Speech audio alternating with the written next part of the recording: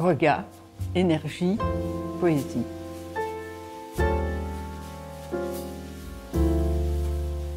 l'époque, la photographie, euh, euh, c'était c'était quand même tout nouveau, c'était révolutionnaire. Donc euh, tout de suite, Charlotte s'est passionnée pour faire de la photographie. Elle a énormément photographié dans les années 30 ce qu'elle appelait son art brut. Elle récupérait des arêtes de poisson, un bout de godillot roulé par la mer, un caillou, et qu'elle ramenait chez elle. Et après, elle les photographiait. Nous avons choisi une arène de poisson. Nous avons choisi un, tronc d'arbre coupé. On a l'impression que c'est deux yeux qui vous regardent. C'est, pour moi, c'est magique. Et nous avons euh, choisi euh, une photo prise à Fontainebleau de neige qui fond sur le sol.